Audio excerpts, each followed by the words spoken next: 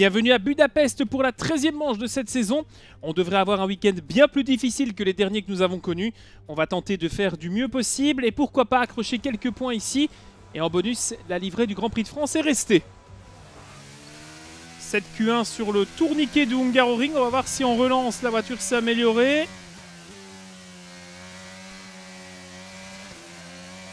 Je suis un peu craintif sur un tour quand même, mais on va voir avec euh, cette euh, nouvelle tribune qui euh, gage bien le soleil sur la grille de départ. J'aimais bien le Hungaroring.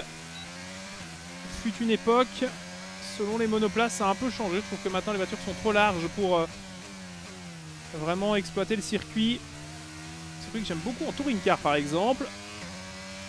Il y a un peu plus d'opportunités de dépasser. Ici ça va être compliqué éventuellement au niveau de la chicane, mais euh, ça va être euh, premier freinage surtout.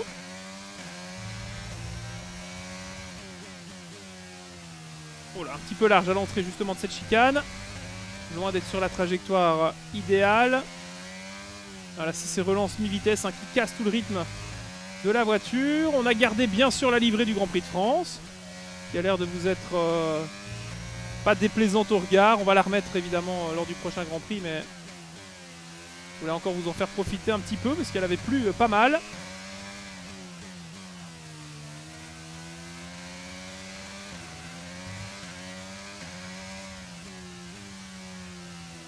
Et on va retrouver la ligne droite des stands avec le chrono qui va avec. Et on se place 20ème. C'est pas fou. On va enchaîner tout de suite avec un deuxième tour. Les pneus sont peut-être un peu plus chauds.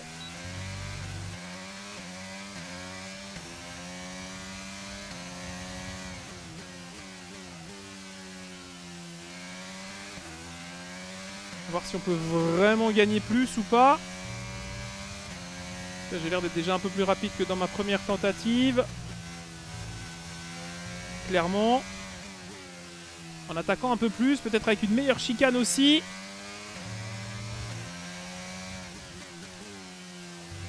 Ouais, bien sûr, bien sûr, la chicane est beaucoup mieux prise. Ouais, le panneau 100 mètres, il restera. On a suffisamment de carburant.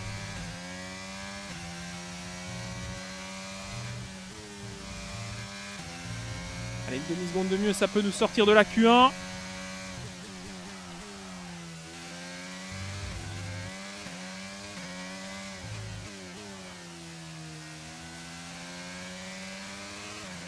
Allez, j'espère que le chrono sera suffisant.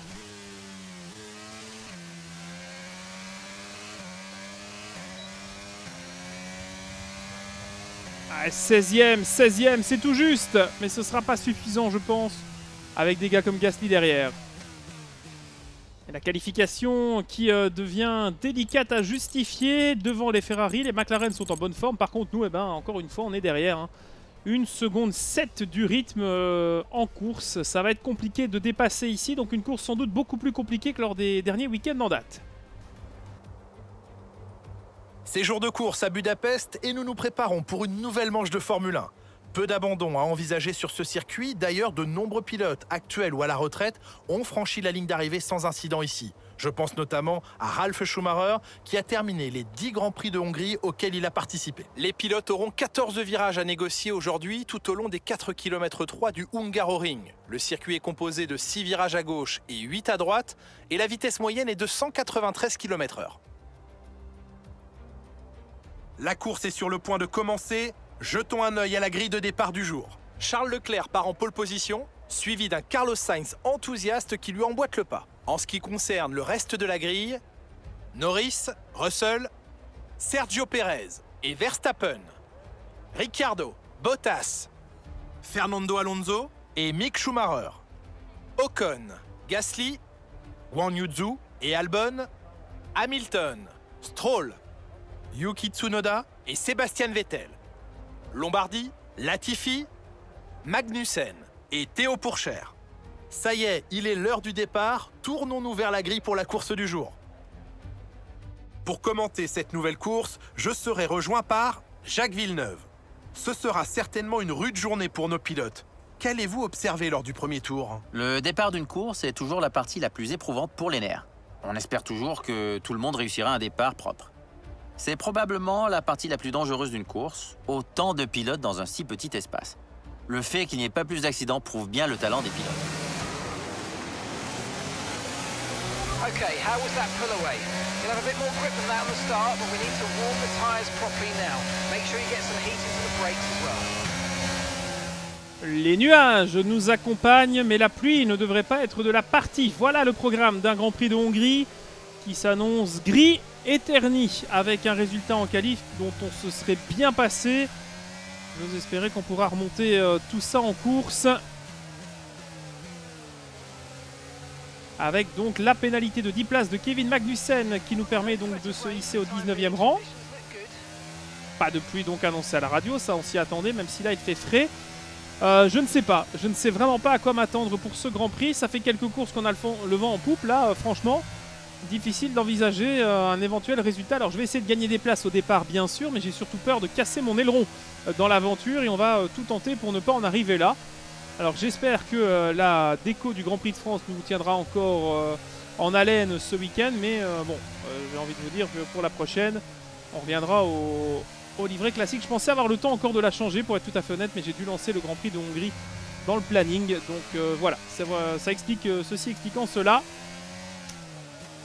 Je prendrai le soin de le faire pour la prochaine épreuve. En attendant, bon, ce Grand Prix de Hongrie avant Francorchamps euh, signe euh, l'arrivée de pas mal de mises à jour au niveau de la voiture. La R&D a été euh, plutôt bien gérée. Maintenant, à nous de voir ce qu'on va en faire pendant cette deuxième moitié de saison. J'espère surtout que Haas va continuer à avoir des soucis, comme c'est le cas pour Magnussen, parce que Schumacher, lui, n'a pas de problème il va être sans doute plus au fait que nous pour aller ramener des points aujourd'hui. On va essayer quand même, on va pas être défaitiste, du moins pas tout de suite. J'ose espérer que la spirale n'est pas encore complètement annihilée. Alors on va essayer de bien se positionner et on est pas mal. La procédure de départ de ce Grand Prix de Hongrie. Et on roule à Budapest.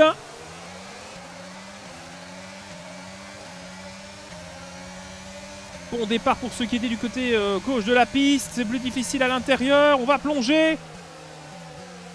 Et on prend sans doute l'un des meilleurs départs de la saison. Qu'est-ce qu'on a été faire là à l'intérieur Magistral, envolé. On est au niveau d'Albon et Ocon. Et même d'Alonso devant. C'est toujours Ocon hein, qui est à notre gauche. Et on arrive à s'échapper du pilote français au profit du Thaïlandais. Est-ce qu'il va pouvoir nous passer à l'extérieur Ocon? Ça va être chaud ici. Et on reste devant Ocon qui a dû donner un coup de frein et Albon également. Ouf Eh bien écoutez mes aïeux, c'était un départ compliqué. On perd la voiture là sur le vibreur. Albon repasse, c'est logique. Oh là, qu'est-ce qu'on a été faire comme bêtise là sur le gendarme couché? Il m'a pas trop posé problème au niveau des essais libres. Et là, il m'a bien piégé au départ. Bon, c'est pas grave. Ouais, départ correct, euh, nous dit-on à la radio. Je vous avoue que je suis euh, assez satisfait d'avoir plongé ainsi dans le premier freinage. J'étais pas serein que ça passe sans dégâts. Contre, au niveau du freinage, là, ça ne va pas du tout. Ouf, ouais, la voiture qui a beaucoup de mal. C'est trop sinueux, l'Alpine qui va repasser. Hein. L'Alpine qui est à notre gauche. Non, l'Alpine reste derrière. Ocon ne trouve pas l'ouverture. Et on va conclure un premier tour de Grand Prix assez euh, compliqué. En 13e position, cela dit, c'est pas mal. Et pour une fois, on n'a pas joué euh, les casse-coups avec euh, les pneus tendres et médiums. Et derrière, il y a Hamilton qui remonte de sa pénalité. Était loin, Lewis, sur la grille. 16e, je pense. Il est déjà en train d'aller rappeler la Williams à l'ordre.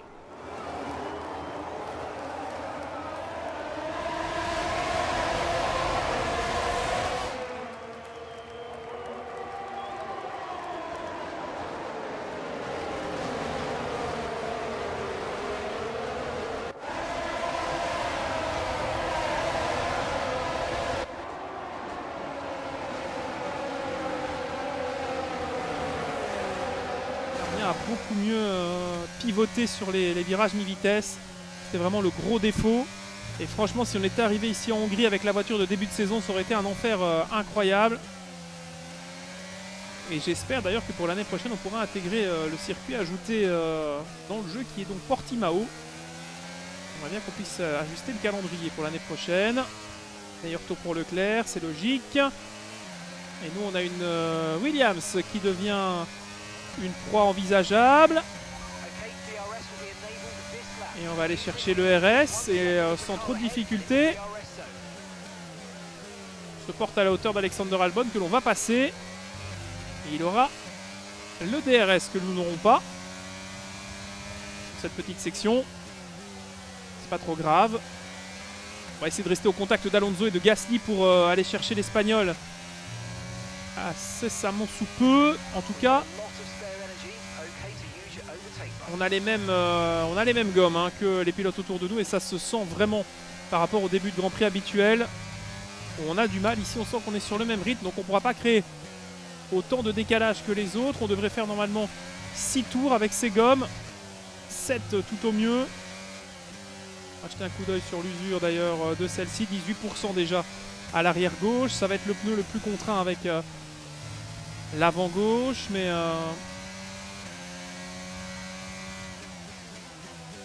La balance de frein est aussi bien mieux comme ça, un peu moins euh, portée sur le train avant. Donc franchement, on comprend cette Formule France depuis quelques courses et ça fait du bien. Hop, eh ben voilà, là j'ai été totalement perturbé. La voiture euh, s'est dérobée sous mes, sous mes doigts. Un peu de RS pour revenir dans le match.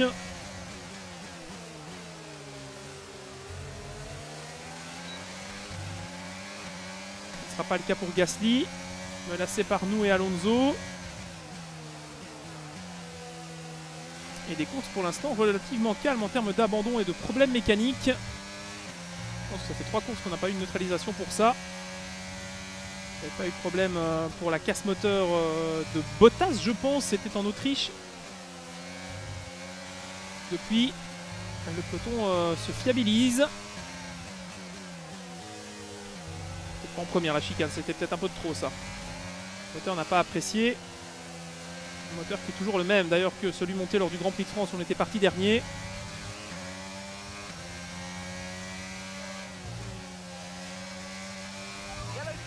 Drapeau jaune, eh bien il suffisait que je le dise.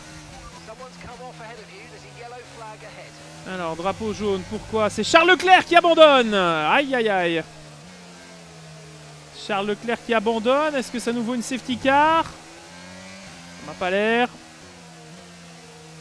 Aïe aïe aïe, ben ça c'est tout bénef pour Sainz au championnat. Drapeau vert, retour sous régime euh, de drapeau vert. Et on sera en pneu médium pour la fin du Grand Prix. J'aurais pu tenter un arrêt euh, anticipé avec des pneus durs, ça aurait pas été idiot. Fait seulement 5 tours. A Alonso et Gasly qui sont dans ma ligne de mire clairement.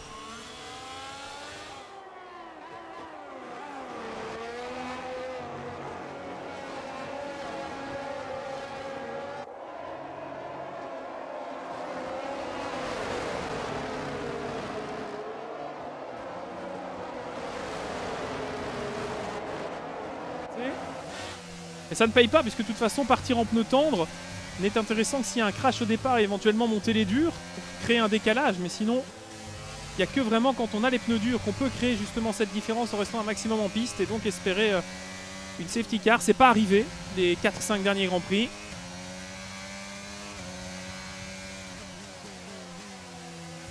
Et on rappelle encore une fois qu'on a le même power unit qui euh, anime l'Alpine devant nous.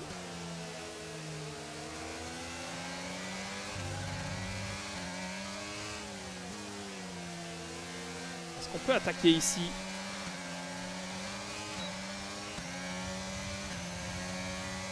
On n'arrive pas à être aussi vite qu'Alonso. Malgré notre déploiement euh, de RS. Et on a une motricité honorable, vraiment, par rapport aux autres monoplaces. Toujours pas de pluie, ni en course d'ailleurs, ni en qualif. La pluie évidemment au, tout début de la Q1 au Paul Ricard. c'est pas le seul. Il y a Bottas dans les stands, Verstappen, Norris, euh, Albon qui reste en piste donc. Tout comme Esteban Ocon. Et on va rentrer à la fin de ce septième tour, je pense. Quoique, est-ce qu'on pourrait emmener les gommes un peu plus loin? 37%, c'est déjà pas mal. hein. On sera à 40 à la fin euh, du tour. Bien tassé.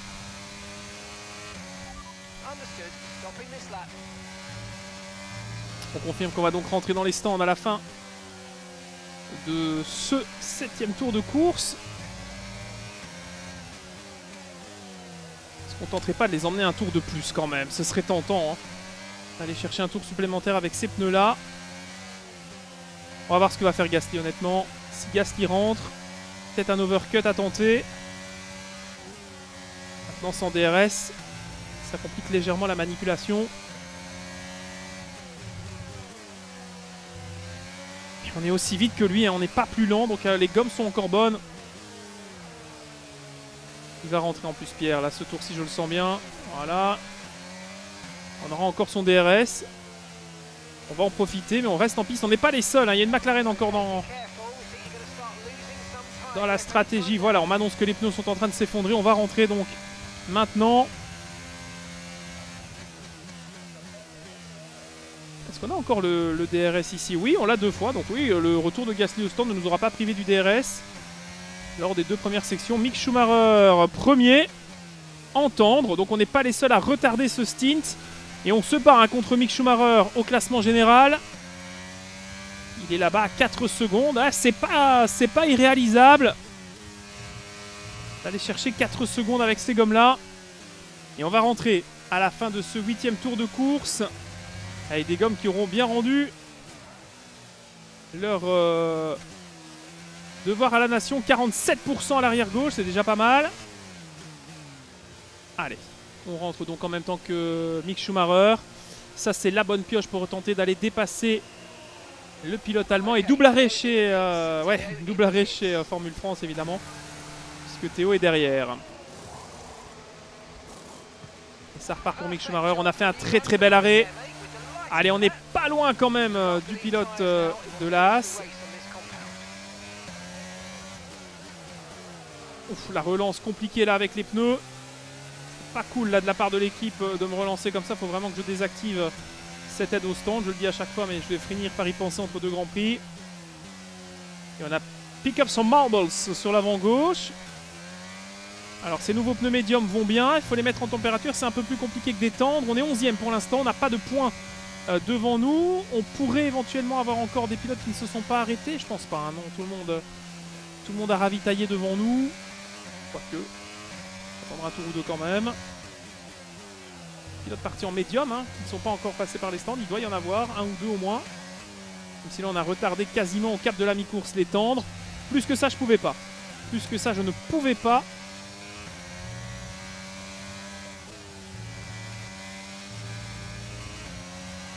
On a du monde devant et derrière Pierre Gasly, hein, avec qui on s'était battu en tout début d'épreuve.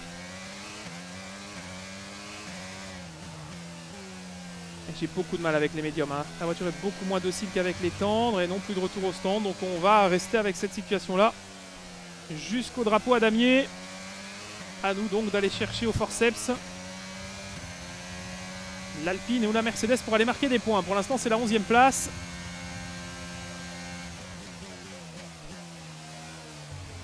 C'est pas si ridicule que ça. Il faut rentrer dans la seconde hein, pour aller chercher le DRS Hamilton A sur Alonso. Lui-même en dispose sur la voiture qui le précède, qui est celle, je pense, donc de Mick Schumacher, qui a ravitaillé en même temps que nous. Et devant, ça se bagarre, ce qui nous permet de revenir un petit peu dans le match. On a perdu euh, du temps tout à l'heure face à Hamilton. Là, on est redescendu sous les 2 secondes. hein. On était à plus de 2 secondes 6. Managing your Et ça continue de se battre entre Schumacher, Alonso et Hamilton. C'est bizarre dit comme ça. Mais regardez, le temps perdu par ces trois loustiques, on en profite et on revient. Ah oui, on en revient, euh, on va même les dépasser. J'espère juste qu'ils vont pas s'accrocher parce que ça peut mal finir pour nous derrière. Ouais, Mick est complètement à la ramasse. Pourtant, il a des médiums neufs, je comprends pas. Et nous, on est revenus. avec l'aide du duel Schumacher-Alonso, on a recollé Hamilton. Ça a mis deux tours, hein, littéralement. 11e des 18 tours de ce Grand Prix de Hongrie. Ici à Budapest, on peut encore tenter quelque chose. Je me suis totalement fourvoyé sur les freins. J'ai cru que j'allais percuter Hamilton. Elle est dure à piloter en médium, hein, cette voiture. Elle est tellement complexe à piloter en médium. J'ai pas la, souplesse que j'ai avec des tendres. J'ai le DRS. Et ça, ça fait plaisir. Tout le monde est logé à la même enseigne au niveau des pneus. hein, donc il n'y a pas vraiment d'avantage à gagner. Et est-ce que ce petit train va se faire rejoindre un certain Monsieur Gasly? C'est pas impossible. Statu quo un tour plus tard.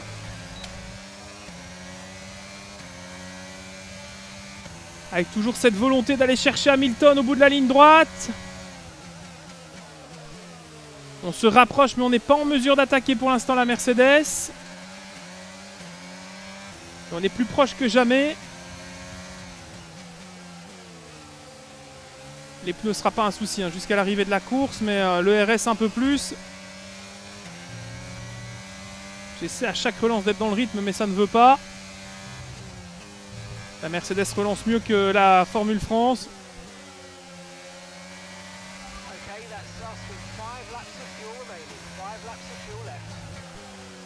Et du coup, je me suis loupé, voilà.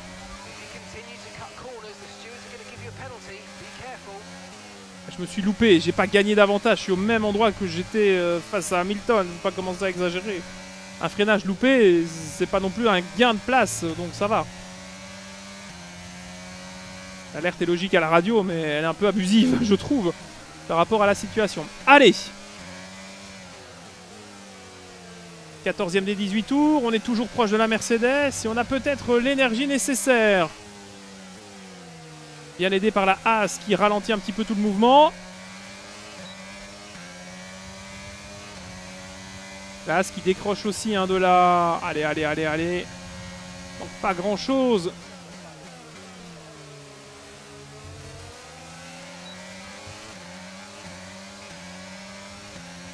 Oh là là là là. Ah, c'est littéralement une procession là.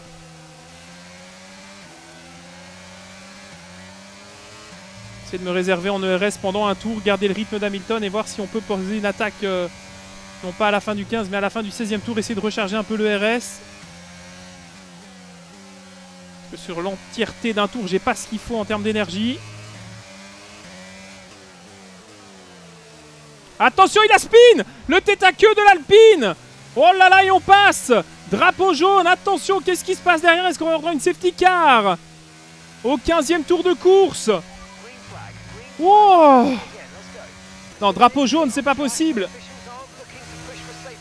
Ouais, il va y avoir une safety car, c'est pas possible, la moitié du peloton est arrêté Oh là là là là, et Alonso qui a 5 secondes de pénalité! Oh, la situation qui était stagnante, qui n'a pas bougé depuis plusieurs tours Et Alonso qui se met en tête à queue sous notre nez. Oh, je m'y attendais pas du tout, désolé pour euh, la frayeur, mais... euh, Waouh Alonso qui euh, part à la faute sous, sous notre pif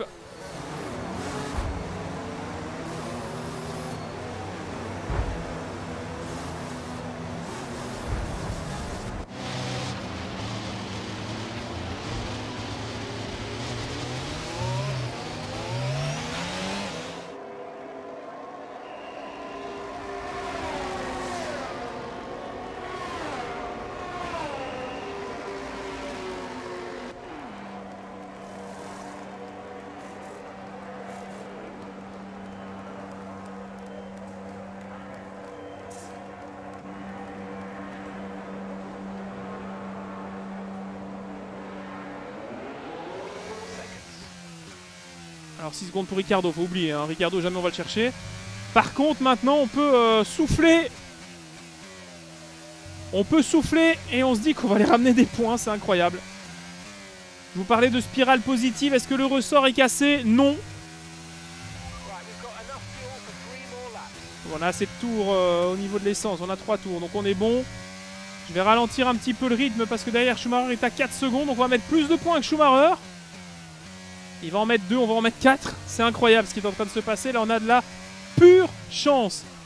Qu'est-ce qu'il nous a fait Alonso? Comment il a été loupé son, son épingle Les pneus usés? Surprenant en tout cas, le spin de l'Alpine.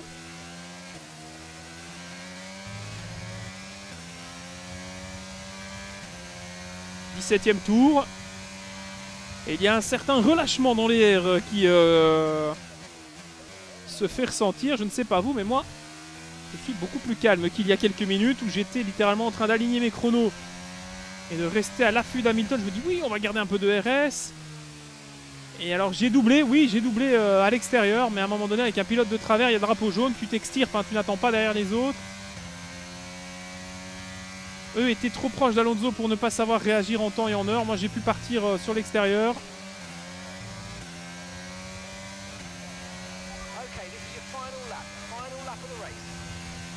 Dernier tour de ce Grand Prix de Hongrie.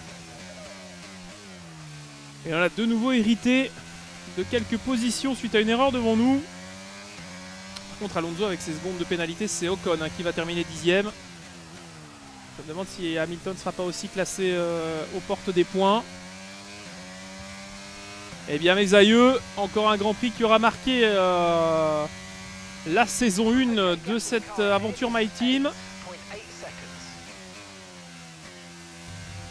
Secondes, 8 d'avance, ouais 9 secondes. On a totalement lâché, on était à 6 secondes au moment du tête à queue d'Alonso par rapport à Ricciardo. Par contre, Bottas 6ème, c'est des gros points encore une fois pour Alfa Romeo. Et l'abandon de Leclerc en début de Grand Prix qui va permettre à Verstappen et à Perez de revenir un petit peu, même si c'est Sainz qui, je pense, va s'imposer si j'ai bien vu. Et voilà, victoire de Sainz, ce qui va lui permettre de reprendre l'avantage au championnat, je pense. Sainz qui était jusque-là deuxième. Perez aussi va remonter. Je sais hein, qu'on a euh, Schumacher derrière. Je l'ai vu. Oh, Tout va bien, tout va bien. Calme à l'intérieur de l'esprit. On va être devant, devant Schumacher jusqu'à la ligne d'arrivée, voilà. Et on va quémander encore une fois des points. Avec la chance de la course.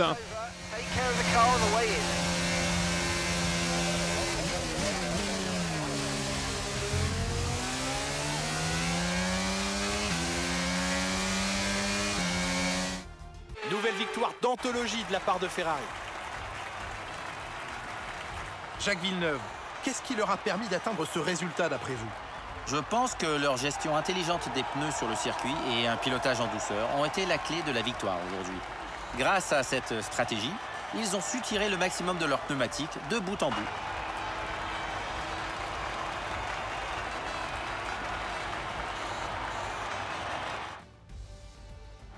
Ferrari est de retour aux affaires avec une superbe performance durant le Grand Prix aujourd'hui. Aucun doute, Ferrari est bien une équipe qui sait ce qu'elle vient chercher sur la piste.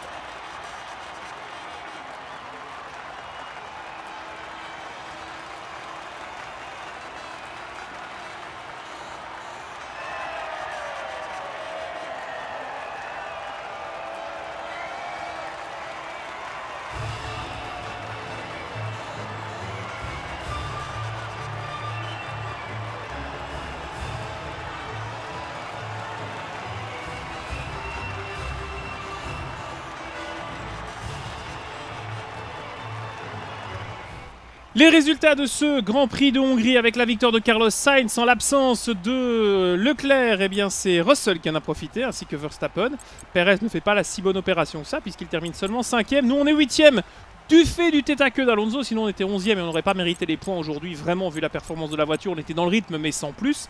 Euh, Théo Pourchère termine donc 15ème, Alonso avec sa pénalité 13ème et au niveau des abandons, eh bien Leclerc et Magnussen qui ont tous les deux été euh, contraints de renoncer. Si on regarde le classement général, eh bien Leclerc se fait déposséder du classement général par Sainz, euh, Norris repasse devant Ricardo et Alonso descend et Esteban Ocon passe devant Tsunoda. Au niveau du classement équipe, pas de changement. 32 points toujours donc pour euh, Formule France. On a pu quémander euh, quelques points. Alors je dis quémander vraiment parce que c'est vraiment récupérer les, miettes quoi. On en est là. Euh, As 40 points. Bon, c'est 8 unités. C'est plus tant que ça. Donc c'est plutôt potentiel 7ème place pour la fin de saison. Alors au niveau des activités, on va peut-être travailler avec le motoriste. Oui, voilà. C'est peut-être euh, pas mal. Ça nous changera un petit peu de faire de la R&D pure et dure. On a 2 millions et demi, justement. C'est l'occasion peut-être de travailler au niveau euh, de la gestion des activités. Sont les, les effets positifs, oui. Au niveau du RH, oui, en vrai, euh, en vrai, on a tellement besoin de faire évoluer la voiture. Production de points de ressources, c'est 3 millions, on les a pas. Euh, Est-ce qu'on peut... Les points de ressources, on n'a pas le budget, c'est 3 millions partout, on peut pas les, on peut pas les mettre. Euh, on peut peut-être améliorer euh, le délai de fabrication, peut-être, effectivement. Le délai de fabrication, elle est à 1,5 million. Ici, on ne peut pas améliorer grand-chose d'autre. On va donc continuer jusqu'à la pause estivale avant le Grand Prix de Spa-Francorchamps. Alors, au niveau des, des pauses, on a encore du temps. Alors, est-ce qu'on peut améliorer peut-être euh, l'aéro? Oui, on a encore deux jours. Allez, entraînement au simulateur pour le copilote, ça peut être pas mal pour essayer de, requinquer un peu le, budget. Euh, au niveau de la R&D, bon, le moral est fixe chez à peu près tout le monde. On a de la R&D en cours uniquement au niveau de la chaîne motrice. On a pas mal de possibilités au niveau du... Au niveau du... Allez, du... Ouais, du châssis, on va essayer de faire ça. On a encore 1000 1100 points. Il y a peut-être moyen de faire évoluer aussi la fiabilité. Peut-être plus travailler vraiment, je suis désolé, sur la performance. L'aéro, on a un élément encore. On a encore 750 points. On a celui-ci à 1250. On n'a pas le budget encore. Allez, le Venturi, il est aussi disponible. Donc voilà, il nous reste 477 points. On ne peut pas euh, changer grand-chose. Vous voyez qu'au niveau des pièces, on est quasiment au bout hein, de ce que l'on peut euh, demander au niveau de la structure. On va accélérer le temps donc jusqu'à la pause estivale et le retour au Grand Prix de Belgique. On va faire un petit peu de budget évidemment pendant l'été. Voilà, un million et demi. Et on va donc se retrouver pour la prochaine étape à la maison. Euh, pour vous, peut-être, en tout cas, du côté de la, du roleplay, ben, rien à voir avec le Grand Prix de Belgique, puisque Clara Lombardi est italienne et que l'équipe est française. On a remis la livrée habituelle pour le reste de la saison. Hein, vous a donné un petit bonus voilà, avec cette livrée spéciale Grand Prix de France en Hongrie. On va dire qu'on n'a pas eu le budget pour repeindre la voiture tout de suite. Moi, je vous remercie d'avoir suivi cette épreuve. On se donne rendez-vous à Spa-Francorchamps pour la 14e manche de la saison. D'ici là, portez-vous bien, les amis, et bon amusement en piste, quel que soit votre jeu de course favori. À la prochaine. Ciao Thank you.